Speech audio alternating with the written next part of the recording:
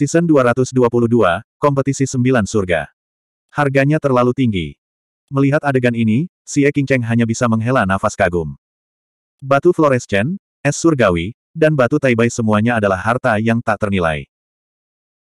Untuk dapat memperoleh ketiga harta ini jelas merupakan peluang dan keuntungan besar, tetapi karena ini, Suzimo melepaskan terlalu banyak kartu truf. Semua metode ini memiliki waktu pemulihan yang relatif lama. Jika dia terus bergerak maju dan bersaing untuk daftar bumi, akan sulit untuk menggunakannya lagi. Ini sangat tidak menguntungkan bagi masa depan Suzimo. Terlebih lagi, sekarang Suzimo terluka parah oleh badai tombak emas, tubuhnya dipenuhi luka. Jika dia ingin menyembuhkan luka-lukanya, itu akan menghabiskan banyak energi mental dan vitalitas. Mungkin butuh waktu lama, yang akan berdampak besar padanya. Ekspresi para tetua Akademi Kian Kun juga menjadi semakin serius. Menurut pendapat mereka, jika mereka bisa mengingatkan Suzimo, keputusan terbaik sekarang adalah berhenti bergerak maju dan berhenti saat dia berada di depan. Hanya batu fluorescen, es surgawi, dan batu taibai sudah merupakan keuntungan besar yang tak terbayangkan.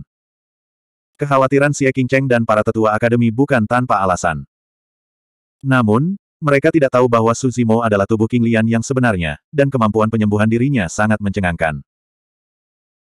Sekarang, Meskipun dia hanya dewa tingkat bumi, roh primordialnya telah mencapai tingkat surgawi, dan karena dia adalah tubuh King Lian yang sebenarnya, dia dapat sepenuhnya beregenerasi dari setetes darah. Kemampuan penyembuhan dirinya bahkan lebih menakutkan daripada dewa tingkat surgawi. Luka-luka yang disebabkan oleh badai tombak emas tampak menakutkan, tetapi baginya, itu hanya luka dangkal dan hampir tidak berpengaruh. Tidak butuh waktu lama baginya untuk menyembuhkan dirinya sendiri dan pulih ke keadaan semula. Adapun kartu truf Suzimo, bahkan jika dia melepaskannya terlebih dahulu, dia tidak akan peduli. Tubuh King Lian yang sebenarnya memiliki terlalu banyak trik dan kartu truf. Apa yang ditampilkan di depannya hanyalah sebagian saja. Di surga ke-9. Setelah Suzimo mengirim batu Taibai ke lautan kesadarannya dan dilahap oleh kuali penekan neraka, badai tombak emas besar di luar menghilang.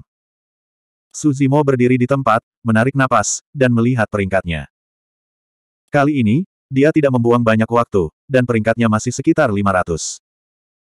Jika tidak ada kecelakaan di surga keempat, dia pasti akan berada di peringkat 100 teratas. Baginya, selama dia bisa masuk ke 100 besar kompetisi Ko-9 surga, itu akan baik-baik saja. Adapun peringkat akhir, itu perlu ditentukan melalui pertarungan peringkat. Su Zimo beristirahat sebentar, luka di tubuhnya berangsur-angsur sembuh dan berhenti berdarah. Kecepatan penyembuhannya sangat mencengangkan. Kemudian, dia tiba di portal teleportasi dan langsung naik ke surga keempat. Setelah tiba di surga keempat, Suzimo menyebarkan Divine Sense-nya dan melihat sekeliling. Dibandingkan dengan tiga lapisan pertama surga, lapisan keempat surga tampak jauh lebih normal. Itu sangat mirip dengan dunia luar, dengan gunung yang menjulang tinggi, air hijau, dan vegetasi yang rimbun. Di ruang ini, Chen Xi dapat merasakan energi roh yang agak padat dari langit dan bumi, dan itu dipenuhi dengan vitalitas dan aroma bunga. Itu adalah hamparan ketenangan dan kedamaian. Su Zimo tidak terburu-buru ke depan. Karena itu adalah kompetisi ko dari sembilan surga, tidak mungkin bagi para pembudidaya untuk lulus dengan mudah. Dia melihat sekeliling dan tatapannya jatuh pada seorang kultivator. Secara kebetulan, orang ini berasal dari Akademi Qiankun, dan namanya adalah Liu Ping. Peringkat Liu Ping di kompetisi sekte luar agak rendah dan dia tidak mendapat peringkat di peringkat bumi kali ini. Meskipun dia tidak mengatakan apa-apa, dia dipenuhi dengan kemarahan dan ingin menggunakan kesempatan ini untuk membuktikan dirinya. Liu Ping memiliki ekspresi tenang saat dia maju dengan hati-hati. Tiba-tiba, tanpa peringatan apa pun, rumput di bawah kakinya mulai tumbuh liar, melingkari kakinya dan memanjang di sepanjang tubuh bagian bawahnya, mencoba mengikat seluruh tubuhnya. Tepi rumput panjang sangat tajam dan berbentuk gigi gergaji. Hampir saat mereka melingkar di sekelilingnya, luka muncul di tubuh Liu Ping dan darah mengalir. Pergi. Liu Ping agak tenang dan tidak panik. Dia menyalurkan Divine Sense-nya dan merilis semacam seni abadi. Tangannya menyulap dua pedang dan menebas rumput di tubuhnya terus-menerus. Pada saat yang sama, dia mengkonsumsi eliksir dengan cepat dan luka di tubuhnya berangsur-angsur berhenti berdarah. Meskipun rumput masih tumbuh liar, dia mampu melindungi dirinya sendiri untuk saat ini dengan bantuan seni abadinya. Liu Ping menyalurkan ki darahnya dan berteriak pelan sekali lagi. Serangkaian suara renyah datang dari kakinya dan rumput yang tumbuh dengan cepat robek olehnya seketika. Namun, rumput di sekitarnya sepertinya merasakan sesuatu dan menyebar ke arahnya. Rumput yang tak terhitung jumlahnya dan tanaman merambat berduri tumbuh. Meskipun Liu Ping terus melawan, ada persediaan rumput dan pohon yang tak ada habisnya di sini.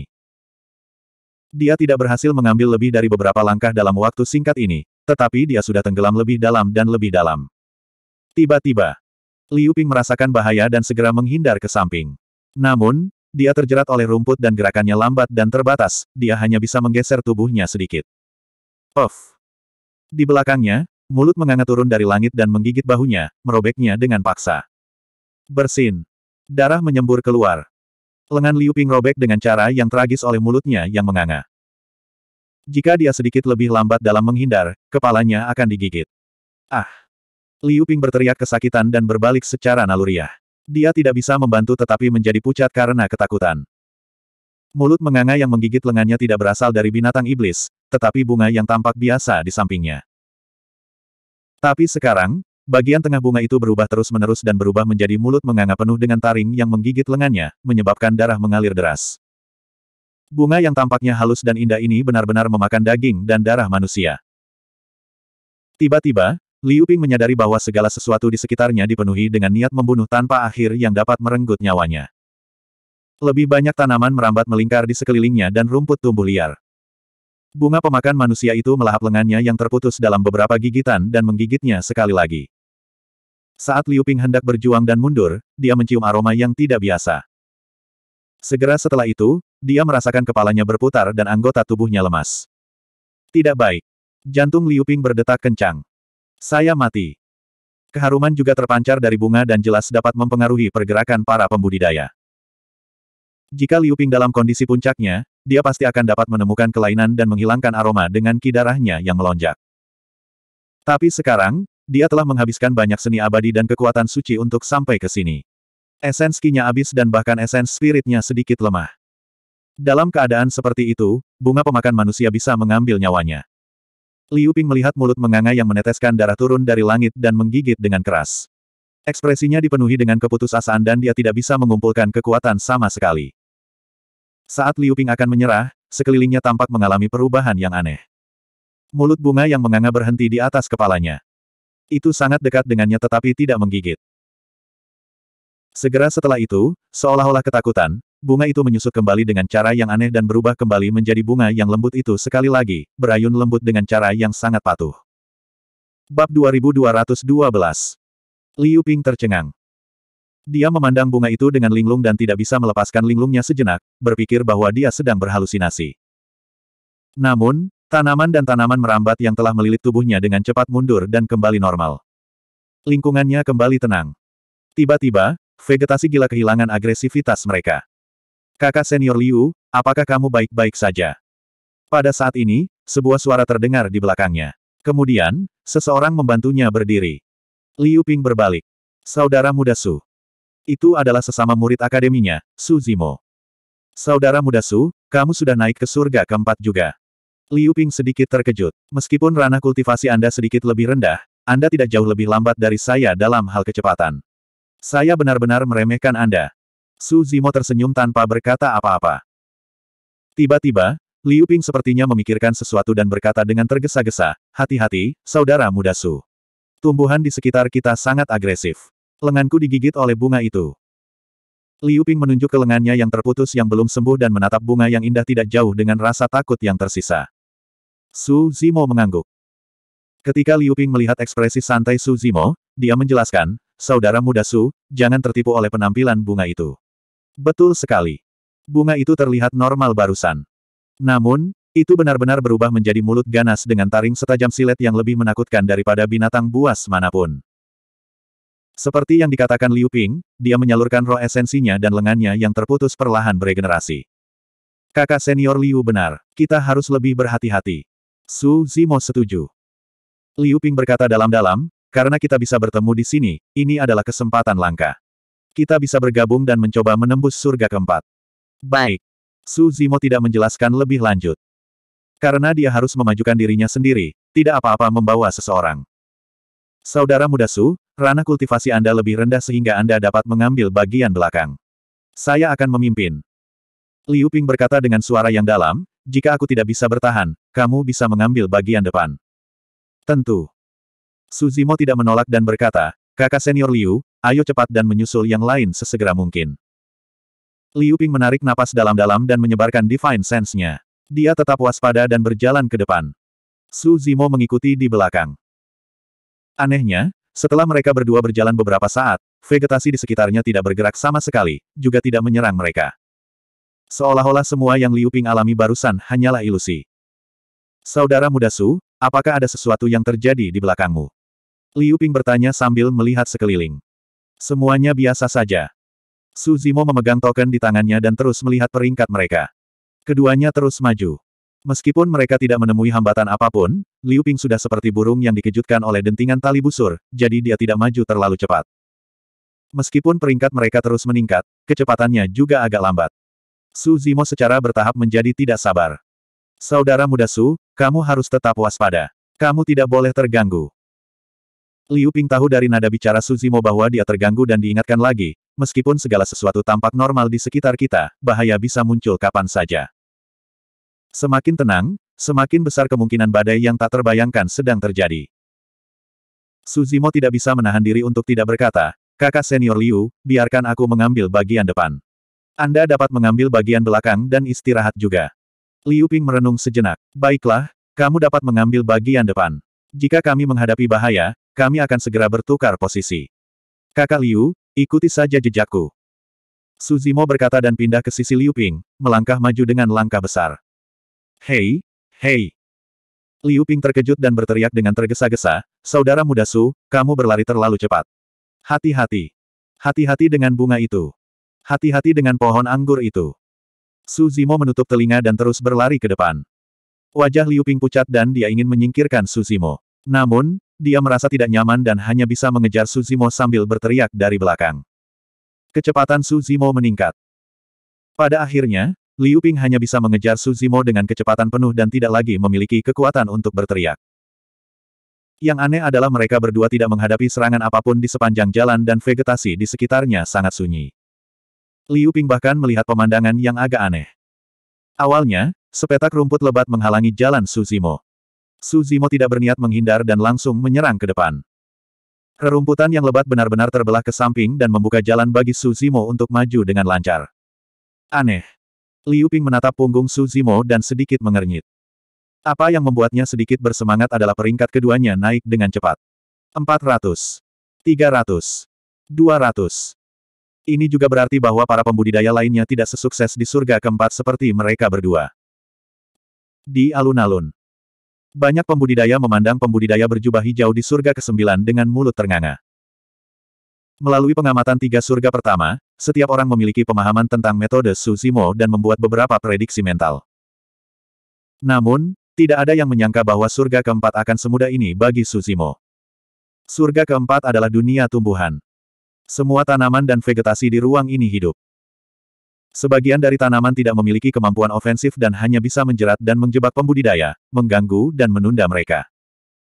Tentu saja, ada juga banyak tanaman yang memiliki serangan dan mematikan yang sangat mengerikan. Bunga yang ditemui Liu Ping hanyalah salah satu jenis yang paling biasa. Sepanjang jalan, mereka berdua melewati banyak jenis tanaman ofensif yang menakutkan, tetapi tidak ada dari mereka yang menyerang mereka berdua. Orang harus tahu bahwa di bagian lain dari ruang ini, tanaman serupa telah membunuh banyak pembudidaya. Namun, untuk beberapa alasan, tanaman tiba-tiba menjadi tenang dan patuh di depan Susimo. Para penonton bisa melihat semuanya dengan jelas. Semua orang tahu bahwa ini jelas bukan kemampuan Liu Ping. Saat pertama kali memasuki surga keempat, Liu Ping hampir dimangsa oleh sekuntum bunga. Alasan mengapa bunga itu mundur adalah karena penampilan Su Zimo. Su Zimo ini benar-benar sesuatu. Dia memanfaatkan seni abadi atribut api untuk melewati surga pertama. Untuk surga kedua, dia memanfaatkan keterampilan rahasia air sejati surgawi. Untuk surga ketiga, dia melepaskan banyak teknik gerakan dan keterampilan rahasia. Meskipun itu mengesankan, itu tidak mudah. Hanya surga keempat. Semua orang dapat dengan jelas melihat bahwa Su Zimo tidak melepaskan kekuatan ilahi atau keterampilan rahasia apa pun di surga keempat. Dia hanya maju tanpa penghalang. Saya rasa dia pasti telah mengembangkan beberapa teknik budidaya atau keterampilan rahasia yang berhubungan dengan tanaman. Itu sebabnya dunia tanaman tidak menyerangnya. Seseorang berspekulasi. Namun, Immortal Sieling yang disempurnakan mengerutkan kening dalam kebingungan. Baginya, tanaman sepertinya tidak mengakuinya. Sebaliknya, mereka tampaknya kagum. Bab 2213 Pada titik ini, tidak banyak pembudidaya yang memenuhi syarat untuk diperingkatkan di Earthroll. Feng Yin, dewa yang bereinkarnasi dari kuil penunggang angin, telah mencapai surga kelima. Immortal Taihua dari Flying Celestial Sect mengikuti dari belakang, tidak tertinggal jauh. Tidak banyak bahaya di surga kelima, jadi itu relatif damai. Namun, ruang di surga kelima dibatasi oleh gaya gravitasi yang menakutkan. Bahkan jika seorang immortal bumi tahap ke-9 menggunakan mantra surgawi dan kekuatan ilahi, dia tidak akan bisa melompat terlalu tinggi, apalagi terbang. Jenius tak tertandingi seperti Feng Yin dan Tai Hua tentu saja bisa terbang di udara untuk waktu yang singkat. Tetapi melakukan hal itu akan menghabiskan terlalu banyak esens ki, dan kerugiannya melebihi keuntungannya. Oleh karena itu, meskipun mereka telah naik ke tempat ini, mereka memilih untuk berjalan menuju lempengan batu Earthroll. Meskipun itu hanya babak eliminasi, dua dewa yang bereinkarnasi mampu menampilkan keterampilan mereka. Perbedaan di antara mereka tidak besar, tetapi mereka jauh di depan yang lain. Ketika mereka tiba di loh batu, tempat ketiga belum naik ke surga kelima. Melihat ini, Perfected Immortal Sieling sedikit mengangguk dan berkata, sepertinya prediksi Earthroll benar. Tempat pertama dan kedua dari babak eliminasi telah diputuskan. Rekan Taoist King Feng dan Bai Hai, saya harus memberi selamat kepada Anda sebelumnya. Sieling memandang Celestial Immortal King Feng dan Celestial Immortal Bai Hai sambil tersenyum dan mengangkat cangkirnya dari jauh. Kedua dewa surgawi dengan cepat mengembalikan roti panggang. King Feng berkata, sebelum Immortal Feng Yin bereinkarnasi, dia adalah kakak laki-lakiku. Earthroll hanyalah kompetisi biasa untuknya, jadi dia tidak akan merasa tertekan. King Feng berkata dengan santai, tetapi ada sedikit kebanggaan dalam nada suaranya. Bai Hai juga tersenyum dan berkata, jika bukan karena hal lain, Tai Hua tidak akan keluar dari pengasingan untuk berpartisipasi dalam Earth Roll. Su Xiaotian mendengarkan diskusi tentang pukulan besar dan bertanya dengan suara rendah, Yang mulia, peringkat babak penyisihan hanya sementara. Apa gunanya menjadi yang pertama atau kedua? Bukankah ada pertarungan peringkat setelah babak penyisihan? Ini sangat berguna. Xie Qingcheng tersenyum dan menjelaskan, setelah peringkat 100 Dewa Bumi teratas di babak sistem gugur selesai, pertempuran peringkat akan segera diadakan tanpa jeda. Su Xiaotian berkedip, tidak bisa mengerti sejenak. Xie Qingcheng melanjutkan, ini berarti bahwa semakin awal Anda mencapai surga kelima, semakin tinggi peringkat Anda di babak penyisihan, semakin lama Anda harus beristirahat dan pulih. Ah! Su Xiaotian menyadari dan berkata, dengan kata lain, Feng Yin, Tai Hua, dan yang lainnya dapat segera beristirahat dan memulihkan vitalitas mereka setelah tiba. Semakin lambat mereka tiba, semakin rendah peringkat mereka, dan mereka tidak akan punya banyak waktu untuk beristirahat. Ini pasti akan mempengaruhi pertarungan peringkat nanti. Tidak buruk. Xie Qingcheng mengangguk dan berkata, itu bukan satu-satunya keuntungan yang kamu miliki di babak eliminasi. Apakah ada keuntungan lain? Su Xiaotian terkejut. Dari sudut pandangnya, Just Now saja sudah cukup bagi para pembudidaya di atas untuk menang dalam pertempuran peringkat.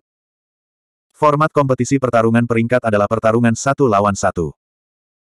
Xie Qingcheng berkata, urutan kasar adalah tempat pertama versus tempat ke-100, tempat kedua versus tempat ke-99, dan seterusnya. Keuntungan dari aturan seperti itu adalah dapat mencegah dua jenius luar biasa bertemu sebelum waktunya, menghasilkan eliminasi jenius lainnya. Itu tidak sulit untuk dipahami. Misalnya, jika Feng Yin dan Tai Hua bertemu di babak pertama pertempuran peringkat, salah satu dari mereka pasti akan tersingkir. Itu akan terlalu tidak adil untuk papan peringkat bumi. Su Xiaotian diam-diam terdiam. Dengan kata lain, semakin rendah peringkat seseorang di babak penyisihan, semakin kuat lawan di pertempuran peringkat. Betul sekali. Xie Qingcheng mengangguk. Jika kamu berada di peringkat 100 atau 99 di babak eliminasi, kamu dapat memilih untuk kalah dalam pertarungan peringkat melawan Feng Yin dan Tai Hua. Su Xiaotian berkata, tidak heran orang-orang ini ingin mencapai papan peringkat bumi sesegera mungkin dan peringkat lebih tinggi di babak eliminasi. Jadi, ada perbedaan besar dalam urutan peringkat. Saat itu, Feng Yin berdiri di depan papan peringkat bumi. Setelah beberapa saat ragu-ragu, dia melayang ke udara. Prasasti batu itu setinggi seratus kaki. Bagi banyak dewa bumi, bahkan jika mereka tidak menggunakan mantra abadi, mereka bisa mencapai ketinggian seratus kaki hanya dengan kekuatan ki dan darah mereka. Namun, ada medan gravitasi di surga kelima. Semakin tinggi yang melonjak, semakin besar gaya gravitasi. Pada akhirnya, itu bisa menjadi ratusan atau bahkan ribuan kali gaya gravitasi. Ketinggian seratus kaki sama sulitnya dengan naik ke surga untuk Dewa Bumi. Semua orang di alun-alun menyaksikan Feng Yin melayang ke udara, kecepatannya melambat. 60 kaki, 70 kaki, 80 kaki. Feng Yin sudah 80 kaki di atas prasasti batu, tapi dia masih tidak meninggalkan namanya. Saat itu, Tai Hua tiba di depan prasasti batu. Dia melihat segel di atas kepalanya, dan cahaya ilahi melintas di matanya. Dia mengaktifkan Divine Sense-nya dan mengaktifkan Celestial Art-nya. Dia juga melompat ke udara dan terus terbang. Aneh, Gumam Su Xiaotian. Bukankah cukup dengan meninggalkan namamu di papan peringkat bumi? Mengapa kamu harus terbang begitu tinggi? Dia sepertinya memikirkan sesuatu dan bertanya, Yang mulia, mungkinkah nama yang lebih tinggi ada di prasasti batu, semakin berguna untuk pertempuran peringkat? Kau terlalu memikirkannya. Senyum Xie Qingcheng membuat semua wanita di alun-alun pucat dibandingkan. Setelah jeda singkat, Xie Qingcheng berkata, namun, makhluk abadi yang bereinkarnasi seperti Feng Yin dan Tai Hua terlahir arogan. Karena mereka ingin meninggalkan nama mereka di prasasti batu, mereka tidak akan merendahkan diri mereka sendiri daripada yang lain. Jika mereka berdua meninggalkan nama mereka di prasasti batu, mereka tidak akan menerimanya jika orang lain dengan santai menuliskan nama mereka di atas nama mereka. Meninggalkan nama seseorang di prasasti batu adalah tanda semua orang. Sebagai makhluk abadi yang bereinkarnasi, Feng Yin dan Tai Hua ingin meninggalkan nama mereka di prasasti batu. Mereka ingin mencapai titik tertinggi, memandang rendah semua pembudidaya lainnya, dan berdiri di atas semua orang. Xie Qingcheng memandangi dua sosok yang perlahan naik di depan prasasti batu dan berkata, setiap kali eliminasi surga ke-9 diadakan, beberapa keajaiban dan monster akan diam-diam bersaing di prasasti batu untuk menentukan siapa yang lebih baik. Biasanya terbang setinggi 80 kaki sudah menjadi batasnya. Tapi menilai dari teknik Feng Yin dan Tai Hua, mereka mungkin akan melampaui 80 kaki. Kecepatan Feng Yin semakin lambat saat dia mencapai 80 kaki. Tapi dia tidak berhenti. Dia mendorong darahnya hingga batasnya dan suara ombak datang dari tubuhnya saat dia terus naik. Setelah beberapa saat, dia akhirnya mencapai 90 kaki. Feng Yin sedikit menundukkan kepalanya dan menatap Tai Hua, yang dengan cepat mendekatinya. Jika dia memberikan segalanya, dia tentu saja bisa naik sedikit lagi. Tetapi jika dia melakukannya, dia akan mengekspos terlalu banyak dan menghabiskan terlalu banyak energi. Itu sama sekali tidak perlu. Dia percaya bahwa Tai Hua tidak akan terus naik hanya untuk kebanggaan sesaat. Pada pemikiran itu, Feng Yin meninggalkan namanya di prasasti batu di ketinggian 90 kaki. Bab 2214 Setelah Feng Yin mengukir namanya di ketinggian 90 meter, dia tidak pergi. Tidak lama kemudian, Tai Hua juga naik, darah di tubuhnya naik, bergelombang seperti gelombang pasang. Seperti yang diharapkan. Dia melirik Feng Yin di sampingnya dan tidak terus naik. Sebaliknya, dia juga mengukir namanya di ketinggian 90 kaki. Jika mereka terus naik, gravitasi yang harus mereka tanggung tidak akan terbayangkan. Kerugiannya melebihi keuntungannya. Pertarungan nyata antara keduanya akan berada di pertarungan peringkat terakhir. Keduanya berdiri di ketinggian 90 meter dari prasasti batu. Ketika mereka bertukar pandang, percikan terbang ke mana-mana. Mereka bisa melihat semangat juang di mata masing-masing. Di hati kedua dewa yang bereinkarnasi ini, hanya pihak lain yang layak menjadi lawan mereka dalam pertempuran daftar bumi ini. Dua rekan Taois ini cukup menarik. Si Eling abadi yang sempurna tersenyum dan berkata, perakiraan batu peringkat bumi tingginya 90 kaki. Itu harus menjadi rekor. Sejauh yang saya tahu, setidaknya tidak ada seorang pun di depannya. Adapun mereka yang datang setelah dia, kemungkinan besar mereka tidak akan bisa mengungguli dia. Para pembudidaya dari Sekte Langit Terbang dan Kuil Angin Kekaisaran mengangkat kepala mereka sedikit. Mereka semua merasa bangga pada diri mereka sendiri. Feng Yin dan Tai Hua, kedua nama ini berdiri berdampingan di tablet batu peringkat bumi. Mereka seperti dua dewa sempurna, sangat mempesona, naik ke puncak, menghadap ke dunia, tak tersentuh. Ini baru sembilan sang. Apa yang bisa dibanggakan? Yunting menatap wajah para pembudidaya dari Sekte Abadi Terbang dan Biara Kekaisaran Angin dan mencibir. Sayang sekali kamu, Yunting, hanya bisa memamerkan kefasihanmu. Kamu tidak akan memiliki kesempatan untuk berpartisipasi lagi. Green Peak Celestial Immortal berkata dengan acuh tak acuh. Yunting mendengus dingin dan tidak menjawab. Feng Yin dan Tai Hua turun dan beristirahat tidak jauh darinya. Tak lama, Yue Feng dari Sekte Abadi Gunung dan Laut tiba di depan prasasti batu. Yue Feng menduduki peringkat ketiga pada peringkat prediksi daftar bumi. Daftar bumi memiliki evaluasi yang sangat tinggi tentang dirinya. Menurut penyusun, jika bukan karena dua dewa yang bereinkarnasi, Yue Feng ini akan menjadi yang teratas dalam daftar bumi. Yue Feng berdiri di depan tablet batu dan mengangkat kepalanya sedikit. Dia melihat dua nama Taois yang bersinar di atas dengan ekspresi ragu-ragu. Setelah terdiam beberapa saat, dia mengerucutkan bibirnya. Dia tidak memilih untuk terbang ke langit dan berusaha melampaui mereka berdua. Dia berdiri di tempatnya, kakinya tertanam kuat di tanah, dan mengukir namanya di depan loh batu. Kemudian, dia pergi ke sisi lain dan duduk bersila. Dia menelan pil obat dan mulai memulihkan Yuan Qi dan staminanya. Si Eling menghela nafas kagum. Murid dari Sekte Abadi Pegunungan dan Laut ini tidak buruk sama sekali. Dia memiliki temperamen yang stabil, dan tidak sembarangan membuang energi vital dan staminanya untuk memperjuangkan posisi yang lebih tinggi. Dia memiliki masa depan yang menjanjikan. Tian Yuan dari Sekte Abadi Gunung dan Laut sedikit mengangguk setuju. Dari sudut pandangnya, daripada menghabiskan Yuan Qi dan kekuatan fisiknya untuk bersaing memperebutkan ketinggian prasasti batu, lebih baik menyimpannya dan menggunakannya dalam pertempuran peringkat terakhir. Pada saat itu, peringkat keempat, Handa Iron, sudah naik dan melangkah menuju tablet batu. Han Si Besi memang komandan besar pengawal bumi eksekusi. Meskipun dia telah tertunda untuk sementara waktu di surga kedua, dia masih berhasil mengejar dan melampaui yang lain, menjadi orang keempat yang mencapai tablet batu peringkat bumi. Handa Iron mengangkat kepalanya untuk melihat dua nama yang berada 90 kaki di atas tanah. Dia tidak memilih untuk terbang ke udara. Sebagai gantinya, dia mengukir namanya di bawah. Dengan nama Taois Feng Yin dan Tai Hua berdiri di 90 meter di atas kerumunan, tidak ada pembudidaya lain yang memiliki keinginan untuk bersaing satu sama lain. Aneh. Su Xiaotian tiba-tiba berbisik, Yang mulia, bukankah Great Jin Immortal Kingdom dan Flying Immortal Sect akan bergabung untuk membunuh Tuan Su? Mengapa mereka belum melakukan apa-apa? Xie Qingcheng mengerutkan kening. Dia telah memikirkan hal ini sejak awal babak eliminasi. Ini juga yang membuatnya bingung saat ini. Mungkinkah Tuan Yuan Zuo benar-benar menggertak? Xie Qingcheng melirik Lord Yuan Zuo, yang tidak jauh darinya. Pada saat itu, ekspresi Lord Yuan Zuo tenang. Tidak ada sedikit pun kecemasan di wajahnya, seolah-olah semua yang terjadi berada dalam kendalinya. Setelah Hansi Besi mengukir namanya, dia dan Tai Hua saling memandang, mengangguk sedikit, dan berjalan ke sisi lain. Hati Xie Qingcheng bergerak dan dia berkata, aku mengerti. Mereka akan melakukannya di sini. Petik 2. Di depan tablet batu daftar bumi. Su Xiaotian bertanya. Xie Qingcheng mengangguk dan berkata, terlepas dari beberapa susunan teleportasi, ada juga tablet batu daftar bumi yang dapat mengumpulkan para pembudidaya dari Kerajaan Abadi Jin Agung dan Sekte Abadi Terbang. Namun, tidak hanya para pembudidaya dari Kerajaan Abadi Jin Agung dan Sekte Abadi Terbang berkumpul di depan tablet batu daftar bumi, bahkan Dewa Bumi dari Akademi Qian Kun dapat berkumpul di sini. Su Xiaotian mengerutkan kening dan berkata, pada saat itu, murid-murid lain dari Akademi Qian Kun pasti tidak akan berdiri dan melihat Tuan Su dikepung. Mungkinkah? Xie Qingcheng tiba-tiba memikirkan tebakan yang menakutkan dan ekspresinya sedikit berubah. Saat itu, pembudidaya kelima yang mencapai tablet batu daftar bumi muncul. Putri Pelangi Merah.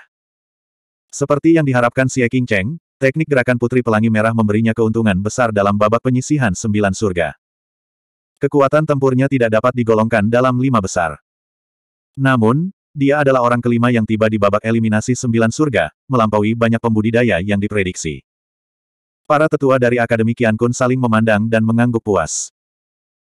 Ketika Putri Pelangi Merah tiba di depan tablet batu daftar bumi, dia melirik Feng Yin, Tai Hua, dan dua lainnya yang sedang bermeditasi. Kemudian, dia melihat empat nama di tablet batu dan sedikit cemberut. Dia tidak seperti Yue Feng dan Han Si Besi. Dia tidak yakin dan ingin mencobanya. Dia melayang ke langit dan terbang lebih tinggi. Sepanjang jalan, dia menggunakan banyak teknik abadi dan kekuatan gaib.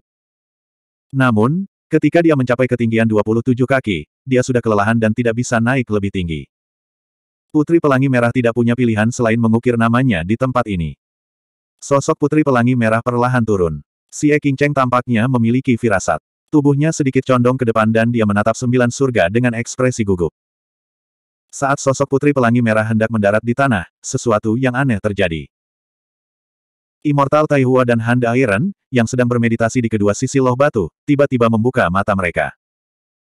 Mereka berdua bergerak dan menyerang pada saat yang sama, bergegas menuju putri pelangi merah. Perubahan ini terjadi tanpa peringatan apa pun. Scarlet Rainbow Countess baru saja selesai mengukir namanya di ketinggian 70 kaki. Sekarang dia kelelahan, dan dia benar-benar tidak berdaya, dia dikepung oleh Immortal Taihua dan Han Dairen, dua jenius yang tiada taranya. Dia tidak akan cocok untuk salah satu dari mereka. Kedua ahli telah bergabung, dan itu terjadi begitu tiba-tiba sehingga dia kelelahan. Dia bahkan tidak memiliki kesempatan untuk melarikan diri. Meskipun kecepatannya cepat, di ruang surga kelima, dia sangat dipengaruhi oleh gaya gravitasi. Serangan Immortal Taihua dan Han The Iron seperti petir, tiba dalam sekejap. Jangankan nyonya wilayah, bahkan para penonton tercengang di tempat. Untuk sesaat, mereka tidak bisa bereaksi terhadap apa yang sedang terjadi. Bam, bam. Mereka berdua hanya bertukar satu putaran pukulan. Sosok Putri Pelangi Merah ditahan oleh Immortal Taihua saat dia mendarat. Itu terlalu cepat. Dalam sekejap mata, Putri Pelangi Merah ditahan dan ditangkap. Perasaan ilahi Immortal Taihua bergerak dan dia mengaktifkan seni surgawi. Dia merilis batasan dan mencantumkannya di Princess Red Rainbow. Tubuh, energi vital, dan roh primordial Putri Pelangi Merah semuanya disegel. Dia tidak bisa bergerak sama sekali. Bab 2215 Melihat adegan ini, Xie Qingcheng menghela nafas dalam hati. Seperti yang diharapkan, apa yang dia khawatirkan tentang Just Now terjadi. Ketika dia menyadari bahwa kerajaan abadi Jin Agung dan Sekte Surgawi Terbang akan bertarung di prasasti batu daftar bumi, dia samar-samar menebak bahwa para pembudidaya Akademi Qian Kun akan menjadi sasaran. Apa yang coba dilakukan oleh Jin Agung dan Sekte Langit Terbang? Ekspresi Elder Zong dari Akademi Qian Kun berubah dan dia bertanya dengan keras. Para tetua lainnya juga melihat ke arah Great Jin Immortal Kingdom dan Flying Celestial Sect dengan marah. Immortal Xieling yang sempurna mengerutkan kening dan bertanya, Yuan Zuo, Bai Hai, apa artinya ini? Putri Pelangi Merah bukan hanya seorang murid dari Akademi Qian Kun tetapi juga putri dari Kerajaan Surgawi Matahari Berkobar. Tidak mungkin bagi Xieling untuk tetap acuh tak acuh setelah melihat ini. Yuan Zuo berdiri dan membungkuk pada Xieling sambil tersenyum. Yang mulia, jangan khawatir. Han Besi dan Tai Hua tahu apa yang harus dilakukan dan tidak akan menyakiti Putri Pelangi Merah. Ekspresi Xieling melunak. Yuan Zuo melanjutkan, tidak hanya itu, Han Si Besi dan Tai Hua juga sedang menunggu Putri Pelangi Merah untuk mengukir namanya di prasasti batu daftar bumi sebelum menyerangnya. Kami hanya sementara memenjarakan Putri Pelangi Merah dan membiarkannya menonton dari samping.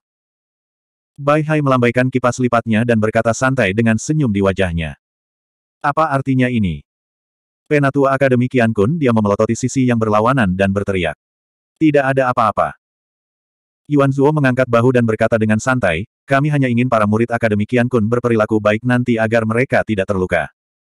Mendengar ini, para tetua Akademi mengerti.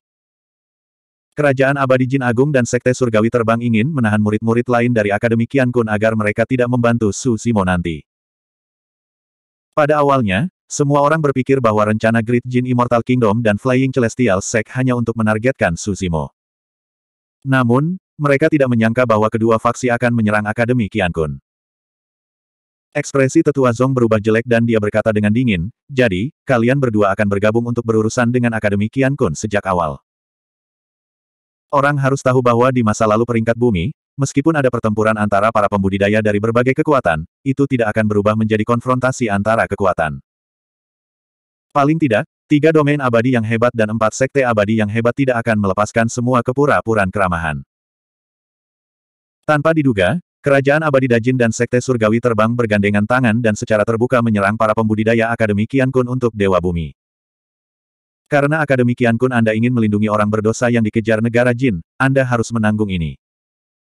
Selain Tuan Wilayah Hong, tidak ada orang lain dari Akademi Kian Kun Anda yang akan memiliki kesempatan untuk meninggalkan nama mereka di proklamasi bumi. Pangeran Kabupaten Yuan Zuo tidak menyembunyikannya dan langsung mengakuinya.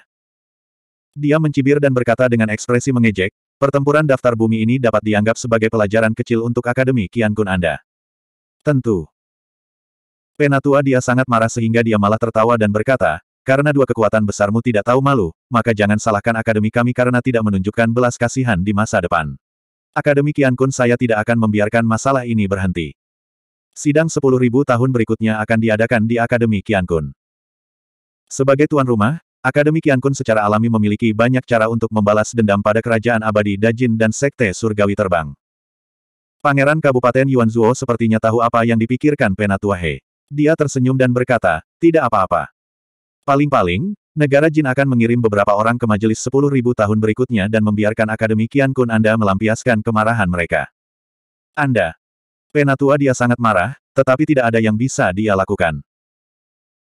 Karena mereka merencanakan ini dan bersiap untuk menyerang Akademi Qian Kun, mereka secara alami mempertimbangkan semua konsekuensinya dan sudah memikirkan tindakan balasan. Surga abadi Baihai memandang para tetua Akademi Qian Kun dan tersenyum santai. Jangan khawatir untuk saat ini. Tai Hua, Han Si Besi, dan yang lainnya akan tahu kapan harus berhenti. Mereka tidak akan membahayakan nyawa murid lain dari Akademi kecuali Susimo. Huff. Penatua Zong tampak tertekan dan marah. Dia mengepalkan tinjunya dan menatap dingin ke Pangeran Kabupaten Yuanzuo dan surga abadi Bai Hai. Meskipun para tetua akademi terkejut dan marah, mereka tidak bisa berbuat apa-apa untuk membantu dan hanya bisa membiarkan situasi berkembang. Menarik, menarik. King Feng Celestial Immortal dari Imperial Wind Temple bertepuk tangan dan tersenyum. Sebenarnya, para tetua, kamu tidak perlu marah. Dari sudut pandang lain, ini adalah semacam perlindungan bagi para murid akademi. Pikirkan tentang itu.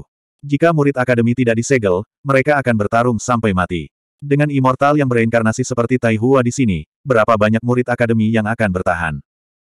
King Feng Celestial Immortal mengipasi api seolah-olah dia sedang menonton pertunjukan. Hahaha. Yunting tertawa dan menyipitkan mata pada King Feng Celestial Immortal. Sungguh membuka mata. Ini pertama kalinya aku mendengar seseorang memutarbalikkan kebenaran dengan begitu baik. King Feng Celestial Immortal mencibir. Di surga kesembilan. Apa yang sedang kamu lakukan? Putri Pelangi Merah tertahan. Dia mengerutkan kening dan memelototi Immortal Taihua dan Handa Iron. Wajahnya penuh amarah saat dia berteriak. Immortal Taihua tampak arogan dan mengabaikan Putri Pelangi Merah. Dia berjalan ke sisi loh batu dan terus bermeditasi dengan mata tertutup. Putri, aku harus merepotkanmu. Han Si Besi berkata dengan tenang. Dia menempatkan Putri Pelangi Merah di samping loh batu dan duduk bersila untuk bermeditasi. Putri Pelangi Merah tidak dapat bergerak selama seluruh proses. Dia berada di bawah belas kasihan Hansi Besi. Kamu anjing, lepaskan aku. Beraninya kau menyentuhku. Ini adalah kerajaan surgawi matahari berkobar. Anjing kau. Hansi Besi mundur ke sisi loh batu dan bermeditasi dengan mata tertutup. Putri Pelangi Merah tidak bisa bergerak. Dia hanya bisa mengutuk untuk melampiaskan amarahnya. Berisik. Immortal Taihua sedikit mengernyit. Dia menjentikkan jarinya, dan Esenski dengan cepat membentuk jimat di udara dan mendarat di wajah Putri Pelangi Merah. Wu! Wu! Wu! Putri Pelangi Merah tiba-tiba tidak bisa berbicara. Wajahnya menjadi merah, dan dia menjadi lebih marah.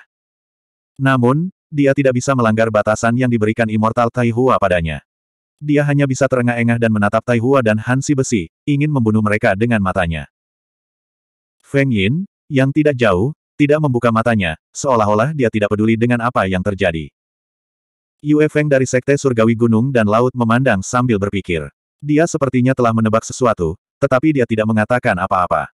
Ini tidak ada hubungannya dengan dia atau Sekte Surgawi Gunung dan Laut. Dia tidak perlu peduli. Dia hanya punya satu tujuan, dan itu adalah peringkat pertama di Earth Roll. Segera, kultivator keenam yang mencapai Earth Roll muncul. Dia juga dari Sekte Surgawi Terbang. Nama tahunnya adalah King Chenzi. Dia tampan, dan jubah putihnya berkibar tertiup angin. Jika bukan karena Immortal Taihua, King Chenzi akan menjadi Earth Immortal nomor satu di Sekte Surgawi Terbang. King Chenzi tiba dan meninggalkan namanya di tablet batu. Dia tidak terkejut melihat Putri Pelangi Merah ditahan. Dia membungkuk sedikit ke Immortal Taihua dan kemudian duduk untuk beristirahat. Kultivator ketujuh yang mencapai tablet batu adalah Xie Yun dari Kerajaan Surgawi Matahari Berkobar. Putri Pelangi Merah telah dikalahkan oleh Xie Yun dalam pertempuran keluarga kerajaan-kerajaan surgawi matahari berkobar. Xie Yun juga menduduki peringkat 10 besar di Earth Roll. Bab 2216 Xie Yun datang ke depan tablet batu peringkat bumi. Setelah mengukir namanya, dia melihat ke arah nyonya daerah Pelangi Merah, yang duduk bersila tidak jauh, dan berkata, aku mengalahkanmu sebelumnya. Kamu mengalahkanku sekali di turnamen penghapusan sembilan surga. Sepertinya kita hanya bisa memutuskan siapa yang lebih kuat dalam pertarungan peringkat. Uh. Putri Pelangi Merah menatap dengan mata terbuka lebar. Dia tidak bisa berbicara dan hanya bisa mengeluarkan suara. Hem. Xie Yun sedikit mengernyit. Melihat ekspresi aneh Putri Pelangi Merah, dia berjalan maju perlahan. Dia akan bertanya ketika Hansi Besi tiba-tiba membuka matanya dan berkata dengan acuh tak acuh, Yang mulia Xie Yun, Putri Pelangi Merah baik-baik saja. Tolong jangan ikut campur dalam masalah ini. Yang mulia hanya bisa menonton dari samping. King Chen dari Sekte Surgawi terbang juga tersenyum. Tatapan Xie Yun menyapu keduanya dan mendarat di Immortal Taihua tidak jauh. Dia samar-samar menebak sesuatu. Xie Yun berpikir sejenak dan perlahan mundur ke samping untuk mengamati. Uh, Putri Pelangi Merah terus membuat suara. Xie Yun menggelengkan kepalanya sedikit dan tampak menyesal. Selama Putri Pelangi Merah baik-baik saja, dia tidak peduli dengan kehidupan orang lain. Beberapa orang bahkan mungkin menjadi lawannya di daftar bumi. Bahkan jika mereka terbunuh, dia tidak akan ikut campur. Tempat ke-8, Sekte Abadi Gunung dan Laut, Duke Yunlei. Duke Yunlei dan Putri Pelangi Merah berpartisipasi dalam seleksi Sekte Abadi seribu tahun yang lalu dan bergabung dengan Sekte Abadi Gunung dan Laut. Setelah Duke Yunlei meninggalkan namanya di tablet batu, dia juga mendengar suara Putri Pelangi Merah dan merasa ada yang tidak beres. Tatapannya menyapu Immortal Taihua, Handa Iron, dan King Chen dan dia terkejut. Posisi ketiganya tampaknya acak, tetapi mereka sangat teliti. Setiap pembudidaya yang datang ke depan tablet batu daftar bumi dapat dikelilingi oleh ketiganya.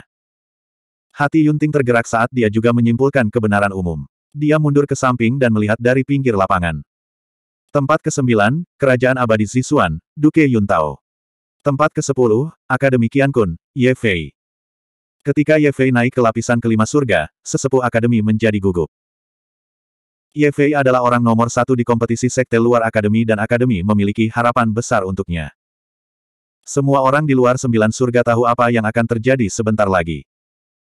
Apa yang Ye Fei tidak tahu adalah bahwa apa yang menunggunya adalah jebakan besar. Begitu dia mencapai tablet batu peringkat bumi, Handa Iron dan yang lainnya akan menyerang. Mereka tidak akan memberinya kesempatan untuk meninggalkan namanya di loh batu. Ini adalah kecemerlangan dari Great Jin Immortal Kingdom dan Flying Immortal Sect. Dengan bantuan Immortal Taihua dan Handa Iron, mereka bisa bergabung selama mereka mencapai prasasti batu terlebih dahulu. Ketika pihak lain tidak berdaya, mereka berdua bekerja bersama sudah cukup untuk menekan siapa pun. Selain itu, seiring berjalannya waktu, semakin banyak pembudidaya dari Great Jin Immortal Kingdom dan Flying Immortal Sect tiba. Adapun para pembudidaya Akademi Qiankun, setiap kali seseorang mencapai tablet batu, mereka akan ditekan dan disegel sampai Su Zimo muncul. Di sembilan surga, angin menderu dan pasir serta batu memenuhi udara. Untuk beberapa alasan, tiba-tiba ada jejak niat membunuh di ruang ini. Di tengah pasir liar, Ye Fei terus bergerak maju. Akhirnya, dia melihat tablet batu peringkat bumi yang tingginya 10 sang. Ada beberapa pembudidaya yang duduk di sekitar tablet batu peringkat bumi, bermeditasi dengan mata tertutup. Di antara mereka ada seorang wanita. Dari jauh, dilihat dari pakaian dan sosoknya, dia tampak seperti Red Rainbow County Lord. Saat pasir kuning menghalangi penglihatannya, indera ilahinya tidak bisa menjangkau terlalu jauh, jadi Ye Fei tidak bisa melihat dengan jelas. The Red Rainbow County Lord menatap Ye Fei saat dia semakin dekat. Namun, dia tidak bisa berbicara dan hanya bisa bergumam dengan sekuat tenaga. Namun, mulut dan lidahnya disegel oleh Immortal Taihua. Bahkan gumamannya sangat lembut dan tidak bisa didengar kecuali dia dekat. Ye Fei berjalan maju dengan cepat dan secara bertahap semakin dekat ke tablet batu peringkat bumi. Perlahan-lahan, dia bisa melihat orang-orang di sekitarnya. Feng Yin, Taihua, Han Si Besi. Wanita itu memang tuan daerah pelangi merah. Saudari junior Red Rainbow, aku tidak menyangka kamu lebih cepat dariku. Ye Fei berkata keras dengan senyum di wajahnya. Dia terus bergerak menuju tablet batu peringkat bumi. Tuan daerah pelangi merah dapat mendengar suara Ye Fei, tetapi suaranya tidak dapat menjangkaunya. Semakin seperti ini, semakin cemas dia menjadi. Ye Fei mengambil beberapa langkah lagi dan tiba-tiba berhenti. Dia menyipitkan matanya dan melihat para pembudidaya di sekitar tablet batu peringkat bumi. Matanya dipenuhi dengan ketidakpastian. Tuan daerah pelangi merah tidak menanggapi, yang membuatnya merasa khawatir. Dia melirik ke tempat Immortal Taihua, Handa Iron, dan King Chen Zi berada dan merasakan sesuatu yang tidak biasa. Ada yang salah. Ye Fei mengerutkan kening, ekspresinya muram. Seperti yang diharapkan dari murid sekte luar teratas dari Akademi Qiankun. Kewaspadaannya telah melampaui yang lain. King Chenzi dari Sekte Surgawi terbang tiba-tiba membuka matanya dan tertawa kecil. Pada saat yang sama, Han Si Besi bergerak dan bergegas menuju Ye Fei dengan kecepatan yang sangat cepat. King Chenzi juga menerkam ke arah Ye Fei. Awalnya, mereka berdua telah merencanakan untuk menunggu Ye Fei mendekat sebelum menyerang. Mereka tidak berharap Ye Fei memperhatikan sesuatu yang tidak biasa sebelumnya. Reaksi Ye Fei juga sangat cepat. Saat King Chenzi berbicara, dia mundur. Baik Hansi Besi dan King Chen Zi berperingkat lebih tinggi darinya. Jika itu pertarungan satu lawan satu, dia mungkin memiliki peluang untuk menang. Namun, dia tidak memiliki peluang untuk menang jika mereka berdua bergabung. Selain itu, masih ada Immortal Taihua. Ye Fei sangat menentukan. Dia membuat keputusan dalam sepersekian detik dan tidak berencana untuk melawan Han Iron dan King Chen Si sama sekali. Dia ingin meninggalkan tempat ini sesegera mungkin dan mengumpulkan sesama murid dari akademi lain sebelum membuat rencananya. Jika tidak, jika murid akademi tiba satu per satu, mereka tidak akan mampu melawan para pembudidaya kerajaan surga Jin Agung dan Sekte Surgawi Terbang. Dalam waktu sesingkat itu, semua tindakan pencegahan Fei sudah dianggap sebagai solusi terbaik. Namun, dia menghadapi Han De Iron dan King Chen Zi, yang terlalu kuat. Mereka berdua tidak akan membiarkan dia pergi dengan mudah. Bangkit! Han Si Besi mengaktifkan roh esensinya dan berteriak. Di belakang Ye Fei, dinding es besar mengembun dari udara tipis, menghalangi jalan Ye Fei. Dia tidak bisa membiarkan salah satu murid akademi melarikan diri. Dia tidak bisa membiarkan sesuatu terjadi pada mereka. Han De Iron tidak menahan diri dan langsung menggunakan Grand Divine Power-nya. Ye Fei memadatkan jari pedangnya dan mengaktifkan roh esensinya. Dengan teriakan, dia menikam dinding es di belakangnya. Ledakan. Cahaya pedang yang menyilaukan meledak dari jari pedangnya dan menembus lubang di dinding es. Namun, dengan sedikit penundaan ini, serangan King Chen Si telah tiba. Ye Fei tidak punya pilihan selain memblokir lagi. King Chen Zi tertawa. Dia tidak melawan Ye Fei secara langsung. Tangannya membentuk benangki dan hanya terjerat dengan Ye Fei, membuatnya tetap di tempatnya. Di sisi lain, Han Si besi tiba. Dia meluruskan telapak tangannya menjadi pedang dan menebas kepala Ye Fei. Aura yang menusuk tulang menyelimuti Ye Fei, menyebabkan dia menggigil. Ki dan darahnya mengalir sangat lambat hingga hampir membeku. Sangat kuat. Ye Fei terkejut. Dia memadatkan jari pedangnya dan menusuk ke belakang, bertabrakan dengan saber telapak tangan Han Si besi. Retakan, retakan, retakan. Lapisan es langsung menutupi jari pedang Ye Fei. Embun beku terus menyebar di sepanjang lengannya. Di sisi lain, King Chen Zi memadatkan sepuluh benang hijau ramping dari sepuluh jarinya dan membungkusnya di sekitar tubuh Ye Fei, mengikat anggota tubuhnya. Dua ahli terkemuka bergabung dan memaksa Ye Fei ke sudut dalam dua hingga tiga putaran. Bab 2217 Engah. Ye Fei meludahkan aliran udara putih dari mulutnya. Itu seperti pedang terbang, menusuk ke arah wajah King Chenzi. Itu setajam senjata ilahi. King Chenzi tidak berani ceroboh. Dia bergegas menghindar. Pada saat yang sama, Ki dan darah Ye Fei melonjak di tubuhnya.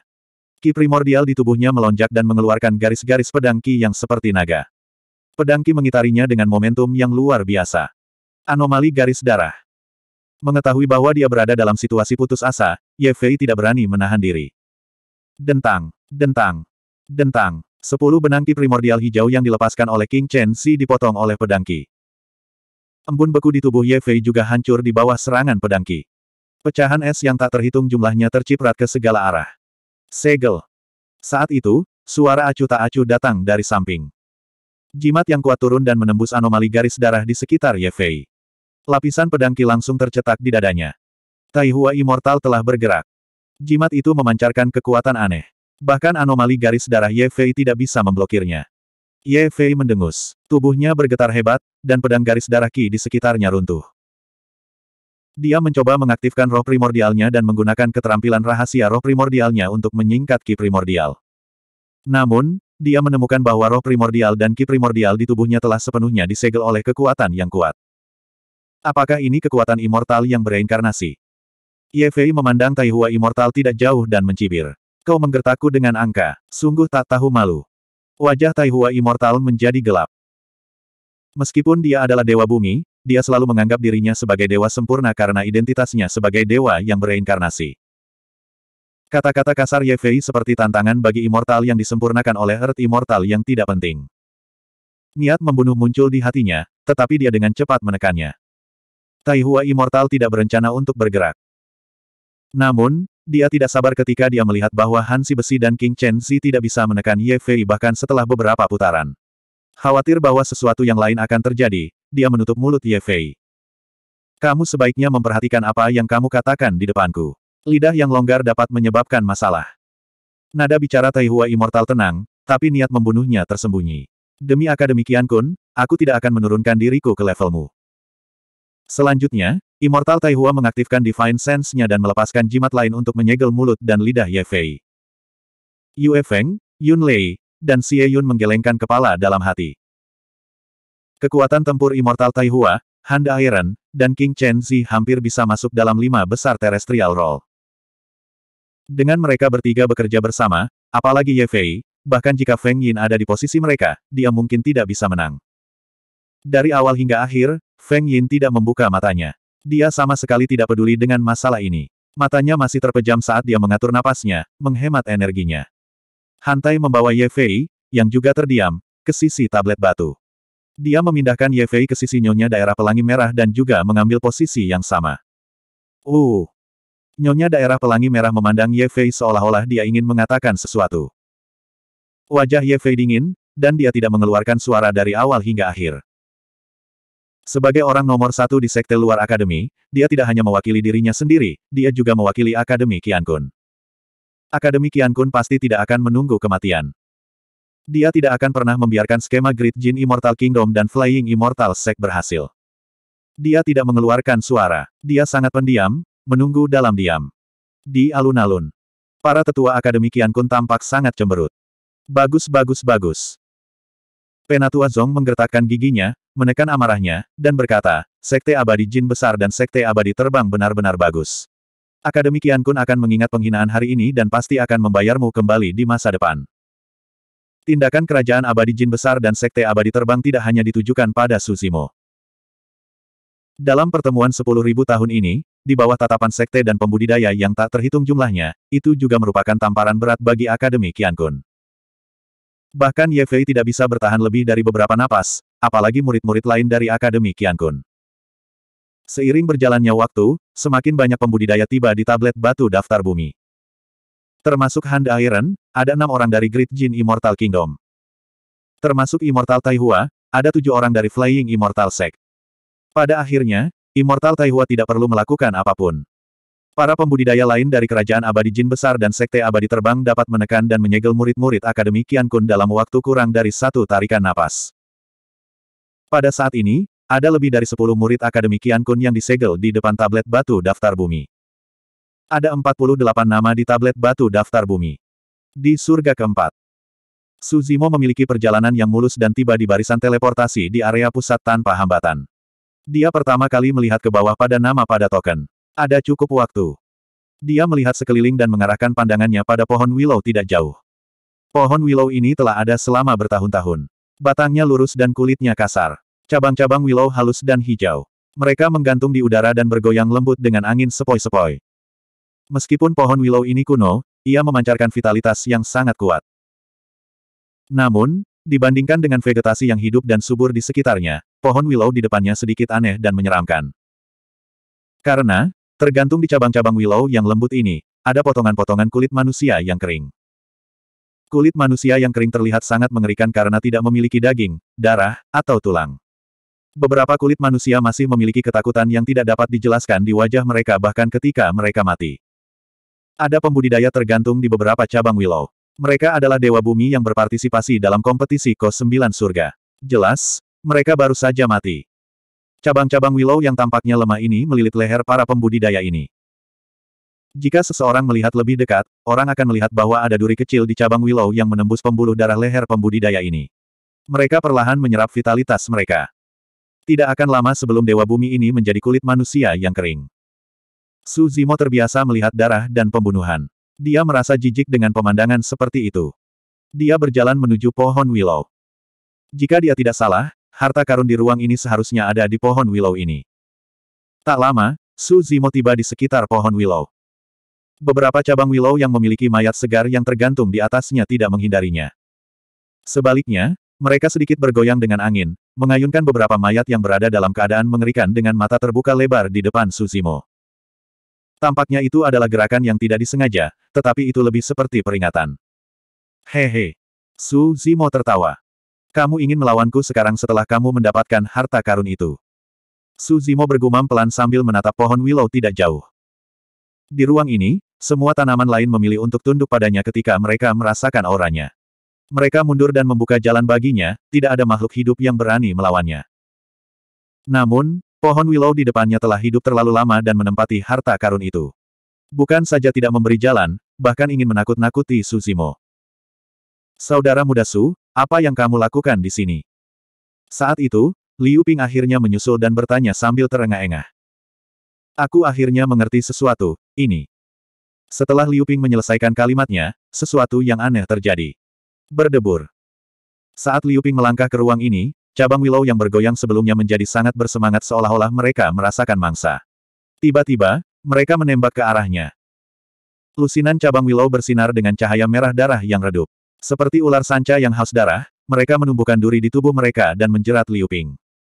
Bab 2218 Liu Ping terkejut dan segera melepaskan Divine Power untuk membela diri. Tetapi di hadapan cabang-cabang pohon willow yang bermutasi ini, seni ilahi agung ini bahkan tidak dapat menahan satu pukulan pun dan mudah hancur. Tiba-tiba, penglihatan Liu Ping kabur dan sesosok tubuh menerobos garis pandangnya. Sebelum dia bisa melihat siapa itu, dia merasakan kekuatan yang luar biasa dan dikirim terbang, mendarat di tanah tidak jauh. Liu Ping berdiri dengan cepat dan melihat ke atas secara naluriah ketika dia menyadari bahwa tubuhnya baik-baik saja. Dia melihat Suzimo berdiri di posisi semula, terjerat oleh puluhan cabang willow berduri yang bersinar dengan cahaya berdarah. Baru saja, Suzimo berhasil menyelamatkan hidupnya dengan membuat Liu Ping mundur tepat waktu. Saudara muda Su. Liu Ping berseru dan hendak menyerang ke depan. Pang! Pang! Pang! Pang! Tubuh Suzimo bergidik dan lusinan cabang willow di tubuhnya patah dengan suara tali busur patah. Jangan datang. Tanpa berbalik, Suzimo berteriak pelan. Pohon willow ini tidak seperti tanaman lain yang berani menyerangnya, apalagi Liu Ping yang mengikuti di belakangnya. Liu Ping menghentikan langkahnya dengan tergesa-gesa. Baru saja, dia mengejar Suzimo dan secara bertahap menebak bahwa alasan mengapa tanaman di ruang ini tiba-tiba kehilangan agresi mereka adalah karena Suzimo. Sekarang dia melihat ini, dia tidak lagi ragu. Saudara muda Su, hati-hati. Aku akan menunggumu di formasi teleportasi. Liu Ping tahu bahwa dia tidak akan banyak membantu bahkan jika dia maju. Sebaliknya, dia hanya akan mengalihkan perhatian Susimo. Tidak perlu untuk itu. Tinggalkan namamu di prasasti batu peringkat bumi terlebih dahulu. Saya akan pergi sebentar, kata Suzimo santai tanpa berbalik. Dia belum pernah melihat para pembudidaya dari Great Jin Immortal Kingdom dan Flying Immortal Sect bekerja sama. Jika dia tidak salah, dua faksi besar itu kemungkinan besar berada di surga kelima. Jika dia melihat Liu Ping bepergian bersamanya, dia mungkin akan melibatkan Liu Ping sebagai gantinya. Liu Ping merenung sejenak. Baik, Junior Brotersu, terima kasih banyak kali ini. Jika saya tidak bertemu Anda, saya akan mati di surga keempat. Mari bertemu lagi di turnamen peringkat daftar bumi. Liu Ping membungkuk pada Suzimo, lalu berbalik dan pergi. Setelah tiba di portal teleportasi, dia langsung naik. Setelah turun ke lapisan kelima surga, Liu Ping merasa tubuhnya tenggelam. Seolah-olah dia telah mendapatkan tambahan berat kilogram yang tak terhitung jumlahnya. Setiap gerakannya menjadi jauh lebih lambat dan lebih sulit. Apakah ini surga kelima? Liu Ping bergumam sambil melihat badai pasir yang menderu di sekelilingnya. Dia membangkitkan semangatnya dan berjalan maju. Setelah jangka waktu yang tidak diketahui, Liu Ping akhirnya melihat sebuah tablet batu tinggi di cakrawala di depannya. Itu adalah tablet batu peringkat bumi yang legendaris. Liu Ping mengeluarkan token dan melirik peringkatnya. Itu ke-58. Haha. Liu Ping sangat gembira. Siapa yang mengira bahwa dia tidak hanya dapat meninggalkan namanya di tablet batu Earth Roll di babak eliminasi Earth Roll, peringkatnya juga tidak akan terlalu rendah. Aku ingin tahu siapa lagi dari akademi yang telah tiba. Saat Liu Ping berjalan ke depan dengan cepat, dia merenung, jika tidak ada yang salah, saudara bela diri senior Ye dan saudara bela diri junior Chi Hong pasti ada di depan saya. Saudara bela diri senior Liu dan saudara bela diri senior Wang seharusnya sama. Dia semakin dekat dan dekat dengan tablet batu daftar bumi. Tidak lama kemudian, Liu Ping sudah bisa melihat puluhan pembudidaya yang tersebar di bawah tablet batu Earthboard. Di antara mereka, ada sesama murid dari Akademi Qiankun. Ye Fei dan Nyonya daerah Pelangi Merah ada di antara mereka. Kakak senior Ye, kalian sangat cepat. Liu Ping melambaikan tangannya untuk memberi salam dari jauh. Orang-orang dari Akademi Qiankun masih duduk bersila dan tidak bangun. Mereka hanya menatap dengan mata terbuka lebar dan tidak menjawab. Liu Ping bingung, tetapi dia tidak terlalu memikirkannya. Dia akan mengukir namanya di tablet batu daftar bumi. Dia sedikit bersemangat dan berkata sambil tersenyum, kakak senior Ye, kamu tidak berharap aku tiba di sini begitu cepat, kan? Sebenarnya, aku hampir mati di surga keempat. Untungnya, saya bertemu dengan junior Brotersu. Dia membawa saya jauh-jauh ke sini, jadi saya bisa melampaui semua orang dan mencapai tempat ini. Saudara muda Su masih di surga keempat. Dia akan segera datang. Mendengar ini, Ekspresi Ye Fei berubah, dan matanya bersinar dengan tekad. Ini adalah saat yang dia tunggu-tunggu. Ah! Ye Fei tiba-tiba berdiri dan mengeluarkan raungan panjang. Seolah belenggu yang tak terhitung jumlahnya telah dipatahkan, rambut hitamnya berubah menjadi abu-abu dan menari-nari tertiup angin. Wajahnya menua dengan cepat. Tapi di matanya, ada tatapan tegas. Di alun-alun. Kerumunan terkejut. Biasanya, Ye Fei tidak akan bisa membebaskan dirinya sendiri setelah disegel oleh kekuatan immortal Taihua. Namun, keadaan Ye Fei saat ini benar-benar menakutkan. Mantra pengorbanan seumur hidup. Para tetua Akademi Kun terkejut dan berseru. Banyak pembudidaya yang hadir terkejut ketika mereka mendengar kata-kata itu. Teknik mistik ini berasal dari Akademi Kun, yang sangat terkenal di alam abadi Cakrawala Surgawi, alam abadi surga ke-9. Hanya ada tiga level untuk teknik mistik ini. Begitu seseorang mengolah level pertama, mereka akan kehilangan seratus ribu tahun umur. Namun, mereka akan mendapatkan ledakan kekuatan yang besar dalam waktu singkat. Ye Fei tidak tua, hanya 40 ribu tahun. Namun, umur seorang Earth Immortal hanya 200 ribu tahun. Setelah teknik mistik ini dirilis, itu berarti Ye Fei akan langsung berubah dari masa jayanya ke usia tua. Ini akan berdampak besar pada masa depannya. Begitu dia memasuki usia tua, ki, darah, dan semangatnya akan melemah. Menerobos ke level berikutnya juga akan lebih berbahaya. Tindakan Ye Fei setara dengan menyerahkan masa depannya dan melepaskan diri dari batasan yang ditinggalkan Immortal Tai Hua padanya. Tidak hanya orang-orang di alun-alun, tetapi orang-orang di depan tablet batu Earth Roll juga tercengang. Tidak ada yang menyangka bahwa Ye Fei, yang awalnya disegel, tiba-tiba akan membebaskan diri. Saudara muda Liu, cepat dan pergi. Mata Ye Fei melebar karena marah dan dia berkata dengan tegas, Tai Hua dan yang lainnya telah memasang jebakan di sini. Beritahu Junior Brotersu untuk tidak naik. Liu Ping bersama Su Zimo. Hanya dia yang bisa membantu Su Zimo menghindari bencana ini. Dalam hati Ye Fei, dia adalah murid sekte luar nomor satu di akademi dan juga kakak senior Su Zimo dan yang lainnya. Dia harus melakukan yang terbaik untuk melindungi sesama murid akademi. Dia harus mengorbankan segalanya untuk melindungi martabat akademi. Kerajaan Surgawi Jin Agung dan Sekte Surgawi Terbang telah bekerja sama untuk membunuh saudara muda Su. Kekuatannya tak terbendung. Satu-satunya hal yang bisa dia lakukan adalah mengingatkan Suzimo untuk menghancurkan rencana Great Jin Celestial Kingdom dan Flying Celestial Sect. Kamu mencari kematian. Wajah Immortal Taihua menjadi gelap. Dia tiba-tiba bangkit dari tanah dan datang ke sisi Ye Fei dalam sekejap. Dia mengulurkan telapak tangannya, dan rune besar mengembun dan menyelimuti Ye Fei lagi. Ye Fei telah menggunakan formula pengorbanan pemendek hidup untuk membebaskan diri dari pembatasan di tubuhnya. Sekarang, dia tidak bisa menahan serangan Immortal Taihua sama sekali. Immortal Taihua meraih tenggorokan Ye Fei dan bertanya dengan dingin, wajahnya penuh dengan niat membunuh, apakah kamu benar-benar berpikir aku tidak berani membunuhmu? Engah. Mata Ye Fei sangat tajam. Tidak dapat mengaktifkan roh dan darah primordialnya, dia menggigit ujung lidahnya dan meludahkan seteguk darah ke wajah Immortal Taihua. Terperangkap lengah, Immortal Taihua dengan cepat memiringkan kepalanya, tetapi dia tidak berhasil menghindari semuanya. Banyak darah menyembur ke wajahnya. Immortal Taihua tidak berekspresi. Darah merah perlahan mengalir di wajahnya, membuatnya terlihat sangat mengerikan. A. D. Sa Asteriste. Abadi, kamu tidak tahu malu. Wajah Ye Fei berubah ungu saat dia mengutuk dengan susah payah. Engah. Immortal Taihua mengerahkan kekuatan di telapak tangannya dan menghancurkan tenggorokan Ye Fei. Sebuah kekuatan besar bergegas ke lautan kesadaran Ye Fei dan menghancurkan roh primordialnya. Bagian atas kepala Ye Fei terkoyak, memperlihatkan lubang berdarah yang mengerikan. Bab 2219 Alun-alun itu benar-benar sunyi, tidak ada satu suara pun yang terdengar. Kerajaan Surgawi Dajin dan Sekte Surgawi Terbang telah bergandengan tangan untuk berurusan dengan Akademi Qiankun. Mereka hanya menyegel murid Akademi sehingga mereka tidak bisa membantu Susimo. Para tetua Akademi Qiankun marah, tetapi mereka masih bisa menanggungnya. Tapi sekarang, Ye Fei, murid teratas dari Akademi Qiankun, telah dibunuh oleh Tai Hua Immortal. Situasi telah meningkat dan di luar kendali. Bahkan kelopak mata Celestial Immortal Bai Hai berkedut karena terkejut. Kali ini, kedua kekuatan itu bergandengan tangan untuk membunuh Susimo. Untuk menghindari hubungan yang buruk dengan Akademi Qiankun, dia dan Tuan Yuan Zuo telah memberitahu mereka untuk tidak membunuh siapa pun dari Akademi Qiankun. Tapi mereka tidak menyangka Ye Fei begitu tegas. Dia lebih suka menggunakan mantra pengorbanan pemecah kehidupan daripada dikendalikan oleh orang lain. Selain itu, Ye Fei telah bersikap kasar kepada Tai Hua Immortal berkali-kali.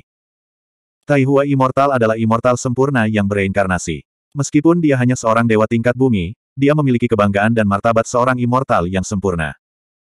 Dia tidak bisa menerima dimarahi oleh Ye Fei di depan begitu banyak orang. Dia tidak bisa menahan niat membunuh dan membunuh Ye Fei di tempat. Bang! Para tetua Akademi Qiankun membanting meja dan berdiri dengan marah. Bai Hai, lihat apa yang telah dilakukan Sekte Surgawi terbangmu.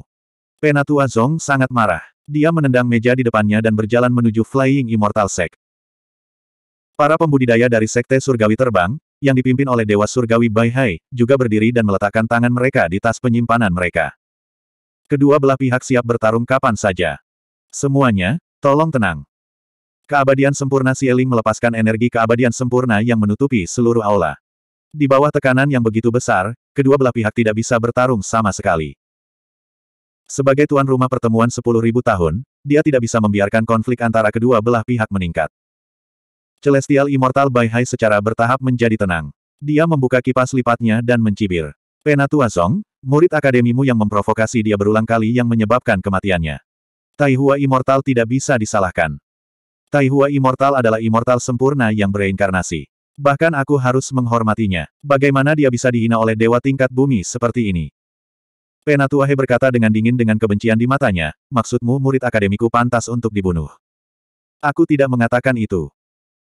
Bai Hai Bai Hai Celestial Immortal mengangkat bahunya dan berkata, namun, aturan sembilan surga adalah bahwa hidup dan mati tidak diperbolehkan.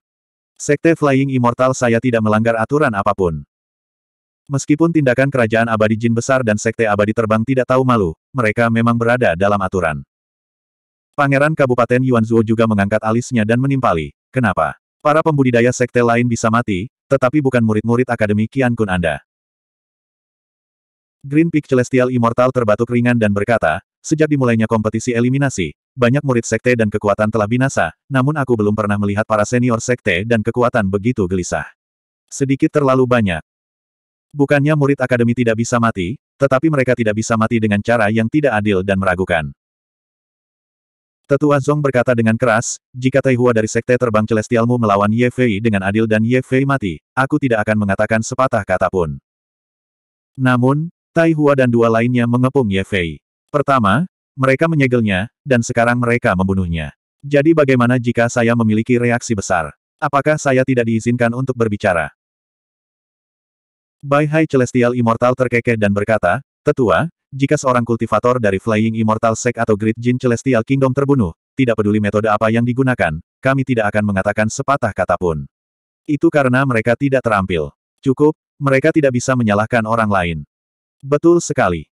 Pangeran Kabupaten Yuanzuo juga mengangguk sambil tersenyum. Anda.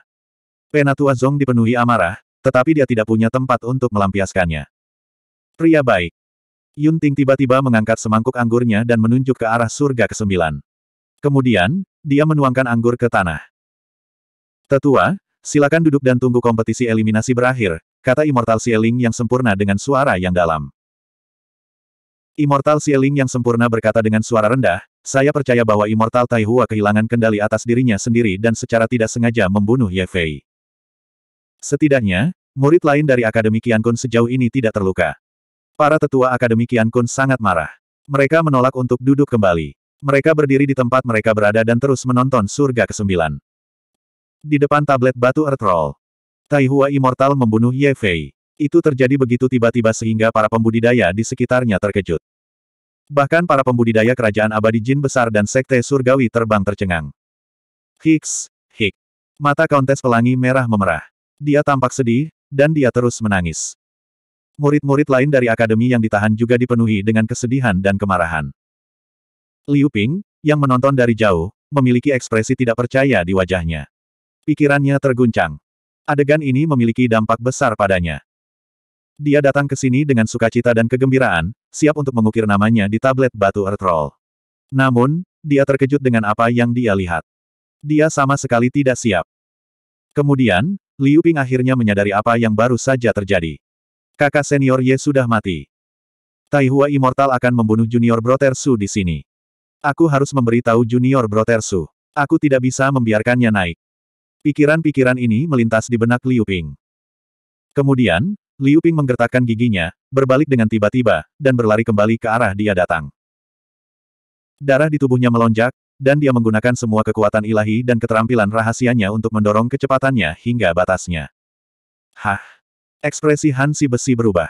Dia adalah orang pertama yang menyadari bahwa masih ada murid Akademi Qian Kun di kejauhan yang tidak dikekang oleh mereka. Han Si Besi melaju ke arah Liu Ping.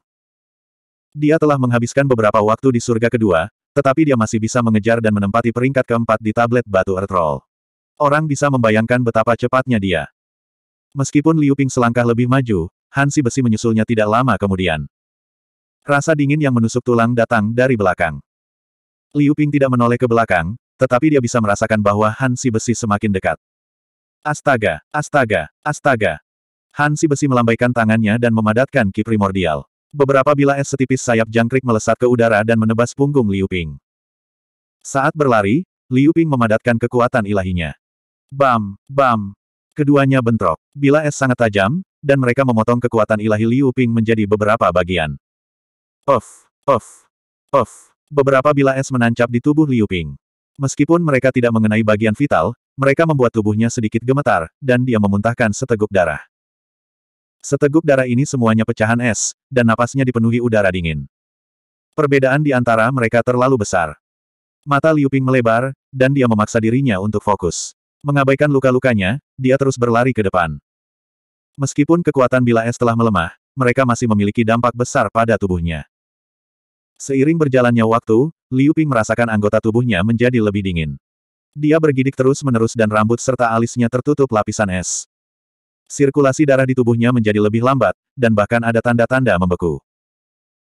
Aku tidak ingin membunuhmu, tetapi lebih baik kamu berhenti di jalurmu agar udara dingin tidak menyerang organ dan tulangmu dan melukai fondasimu.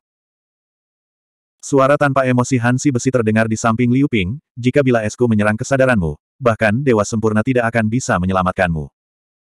Bab 2220 Bukan urusanmu apakah aku hidup atau mati. Liu Ping berteriak dan tiba-tiba mengaktifkan roh esensinya untuk melepaskan teknik rahasia. Suhu darahnya yang akan membeku naik dengan cepat. Dalam sekejap mata, itu mendidih dengan api merah. Sosok Liu Ping berubah menjadi seberkas cahaya api. Kecepatannya meroket, hampir seolah-olah dia terbang. Dia berlari ke kejauhan, memperlebar jarak antara dia dan Han De Iron. Hem. Han De Iron mengerutkan kening dan mempercepat juga.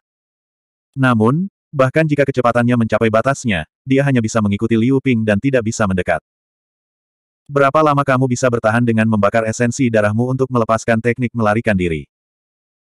Hansi besi berkata dengan dingin, ketika kamu tidak bisa bertahan lagi, bila es di tubuhmu akan menyerang lebih keras lagi. Kamu pasti akan mati. Esensi darah adalah dasar dari ki dan darah seorang kultivator. Teknik melarikan diri ini jarang terjadi sejak awal. Setelah dirilis, efeknya sangat mengejutkan. Teknik Blood Escape mirip dengan Blood Escape teknik, tapi itu tidak sama. Teknik pelarian darah menghabiskan sebagian dari ki dan darah pembudidaya sebagai ganti peningkatan kecepatan jangka pendek tanpa merusak fondasi atau tubuh. Namun, teknik pelarian darah mengharuskan pembudidaya untuk membakar esensi darahnya terus-menerus. Jika pembudidaya tidak bisa berhenti, pembakaran esensi darah yang terus-menerus pada akhirnya akan menyebabkan kerusakan permanen pada pembudidaya. Jika fondasi pembudidaya rusak, mereka bahkan mungkin mati. Alasan mengapa Liu Ping untuk sementara dapat memblokir invasi Qi es dan bila es di tubuhnya adalah karena dia membakar esensi darahnya untuk melepaskan kekuatan yang luar biasa. Kekuatan ini digunakan untuk meningkatkan kecepatannya dan memblokir Qi es dan bila es di tubuhnya. Setelah esensi darahnya habis, es Qi akan menyerangnya. Seperti yang dikatakan Hansi Besi, dia pasti akan mati. Liu Ping sangat menyadari hal ini, tetapi dia tidak berhenti. Jika bukan karena saudara muda Su, saya akan mati di surga keempat. Saudara muda Su menyelamatkan hidup saya. Saya tidak bisa membiarkan dia mati selama kenaikannya. Kakak senior Ye mengorbankan dirinya sendiri. Aku tidak bisa mengecewakannya. Saya tidak hanya harus mengingatkan saudara muda Su, tetapi saya juga harus mengingatkan murid-murid lain dari akademi bahwa saya harus bertahan. Liu Ping mengulangi pemikiran ini di benaknya. Setelah perjalanan yang begitu panjang, esensi darah di tubuhnya terbakar lebih cepat dan lebih cepat. Tubuhnya semakin lemah, tetapi matanya dipenuhi dengan tekad. Saya ingin melihat saudara muda Su hidup-hidup. Saya ingin memberitahu saudara muda Su semuanya. Kemudian, saudara muda Su dapat menghentikan saudara senior lainnya. Dengan kekeras kepalaan ini, di bawah pengejaran Hansi Besi, keinginan Liu Ping untuk hidup meledak. Sama seperti Ye Fei, dia menolak untuk menyerah. Di alun-alun. Semua orang tergerak ketika mereka melihat kultivator akademi yang terbakar dengan api dan memiliki udara dingin di atas kepalanya. Wajahnya pucat tapi tatapannya luar biasa tegas. Pada saat ini, banyak pembudidaya akhirnya mengerti mengapa Akademi Kian Kun adalah salah satu dari empat sekte surgawi utama. Semua orang secara bertahap mengerti bahwa itu adalah sesuatu yang Ye Fei telah mempertaruhkan nyawanya untuk dilindungi. Itu adalah martabat Akademi Kian Kun. Para murid Akademi tidak akan pernah menundukkan kepala mereka. Jika dia terus berlari seperti ini, murid akademi ini juga tidak akan bisa bertahan. Huh, aku tidak menyangka akan berakhir seperti ini. Akademi Kian Kun kehilangan dua orang berturut-turut. Kali ini, hanya ada Raja Wilayah Pelangi Merah di peringkat bumi. Tapi mereka mendapatkan rasa hormat dari banyak orang. Liu Ping adalah dewa bumi yang bahkan tidak bisa melewati surga keempat. Perbedaan antara dia dan Han si besi seperti perbedaan antara langit dan bumi. Namun, di bawah tatapan pembudidaya yang tak terhitung jumlahnya, Liu Ping akhirnya melihat formasi teleportasi ke surga keempat saat dikejar oleh Han Si Besi. Mata beberapa tetua akademi menjadi merah saat mereka menyaksikan adegan ini. Ketika Liu Ping tiba di formasi teleportasi, dia berbalik dan menyeringai pada Han Si Besi yang sedang menyerbu.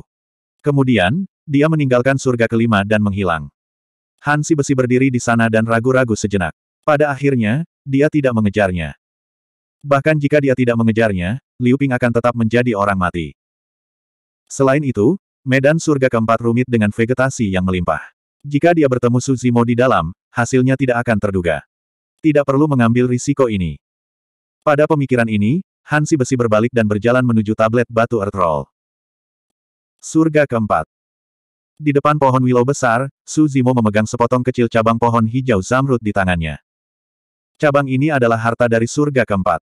Harta karun ini disebut tahun kayu. Itu sebenarnya sepotong batu yang jatuh dari bintang tahun. Namun, itu tampak seperti cabang pohon dan penuh vitalitas. Saat Suzimo memegang tahun kayu, tubuh asli King Lian memiliki keinginan yang kuat untuk melahapnya. Ia ingin melahap kekuatan tahun kayu dan menjadikannya miliknya. Dia ragu-ragu sejenak. Alih-alih melemparkan kayu tahun ke dalam kuali penindasan penjara, dia memasukkannya ke dalam tas penyimpanannya. Jika Prison Suppression Cauldron melahap Grand White Stone, ada kemungkinan tembok keempat bisa diperbaiki. Meskipun roh suci Azure Dragon tidak menunjukkan tanda-tanda kebangkitan, jika dia bisa mendapatkan harta lainnya, tidak akan terlambat untuk melemparkannya ke kuali penindasan penjara untuk dimakan. Namun, tidak banyak harta yang cocok untuk diserap oleh tubuh asli King Lian. Cabang-cabang pohon willow menari-nari di sekitar Suzimo, dengan lembut menyapu bahunya. Itu terlihat sangat patuh dan patuh, tidak lagi bermusuhan seperti baru sekarang. Su Zimo baru saja membuka batang pohon willow raksasa dan merebut kayu tahun. Bahkan dengan bantuan tahun kayu, itu tidak bisa melawan penciptaan King Lian sama sekali. Pada saat itu, ia tahu bahwa hidup atau matinya ada di tangan Su Zimo dan ia mulai memohon belas kasihan. Su Zimo memiliki ekspresi mengejek saat dia melihat pohon willow di depannya dan mencibir, kamu hanya memohon belas kasihan sekarang. Hem. Tiba-tiba, Su Zimo merasakan sesuatu dan melirik ke arah formasi teleportasi tidak jauh. Sesosok tersandung dengan wajah pucat dan bibir keunguan, Liu Ping yang telah naik belum lama ini. Apa yang sedang terjadi? Su Zimo bergegas maju dan berteriak. Saudara muda Su, aku sudah selesai. Tolong jangan naik. Liu Ping merasa lega saat melihat Su Zimo. Dia terengah-engah dan berkata, Taihua dan yang lainnya menjaga prasasti batu peringkat bumi dan bersiap untuk bergabung melawanmu. Mereka telah menyegel semua orang di kampus. Mari kita bicarakan nanti. Su Zimo mengamati Liu Ping dengan kesadaran rohnya dan mau tidak mau mengerutkan kening. Darah esensi Liu Ping telah dibakar sepenuhnya. Pada saat itu, bila es yang dikirim Han Iron ke dalam tubuhnya meledak dengan kekuatan yang mengerikan. Daging, tulang, dan organ dalamnya semuanya membeku menjadi es. Su Zimo ingin membantu Liu Ping berdiri. Begitu tangannya bersentuhan dengan lengan Liu Ping, kedua lengan itu hancur berkeping-keping, berubah menjadi pecahan es yang tak terhitung jumlahnya yang jatuh ke tanah. Tubuh Liu Ping benar-benar lumpuh dan tidak memiliki kehidupan lagi. Ki es melonjak ke dalam kesadaran Liu Ping, ingin membekukan roh esensinya juga. Huh. Ketika Suzimo merasakan itu, dia menyerang dengan tegas dan melepaskan esens Ki yang kaya dan murni yang melonjak ke tubuh Liu Ping, menghancurkan Ki es dan bila es. Roh esensi Liu Ping selamat. Namun, tubuhnya juga hancur dalam bentrokan itu, berubah menjadi tumpukan pecahan es yang berserakan di bawah kaki Susimo. Tidak apa-apa bahkan jika aku kehilangan tubuhku. Setidaknya aku masih hidup. Roh esensi Liu Ping tertawa getir. Sebuah pikiran melintas di benak Su Zimo dan dia tiba-tiba berkata, tubuhmu itu juga tidak seberapa. Aku akan memberimu tubuh yang lebih baik.